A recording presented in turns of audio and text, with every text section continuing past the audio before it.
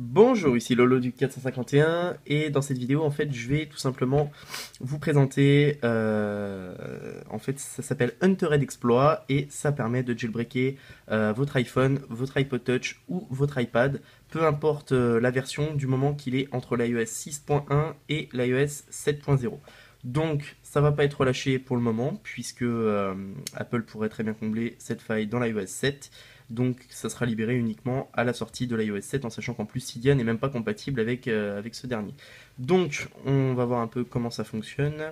Tout simplement, euh, il faudra vous rendre sur cette page, qui sera communiquée euh, sur son site internet officiel. Donc il y, a une, il y a une petite description, tout simplement. Vous allez devoir cliquer ici, ensuite ça va vous installer euh, tout simplement un profil de configuration qui va jailbreaker euh, votre appareil via Safari, tout simplement. Et une fois que c'est fait, vous pouvez quitter et là, vous pouvez voir tout simplement que euh, Cydia est installé sur, sur votre appareil.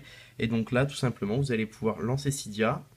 Donc là, on peut voir que je suis sous iOS 6.1.3. malheureusement, ça a craché. Euh, disons qu'il y, a encore un peu de bug. Vous avez pu le voir, notamment la disparition euh, du, fond d'écran, euh, l'apparition de lignes bleues en fait sur, sur l'écran ainsi que des crashs en fait au, lancement de, de l'application. Mais bon, sans ça, ça reste encore des petites choses à travailler. bon, c'est pas encore très très au point. Ça dépend des moments, c'est un peu capricieux. Mais en théorie, voilà, c'est ça. C'est le, jailbreak tout simplement pour euh, l'iOS 6.1.2, 6.1.3.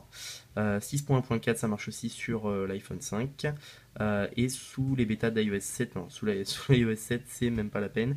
J'ai encore beaucoup beaucoup de travail là-dessus, j'ai encore un peu de temps de toute façon. Donc, donc voilà, sinon on peut voir qu'il s'agit bien d'un iPad euh, mini sous le firmware 6.1.3.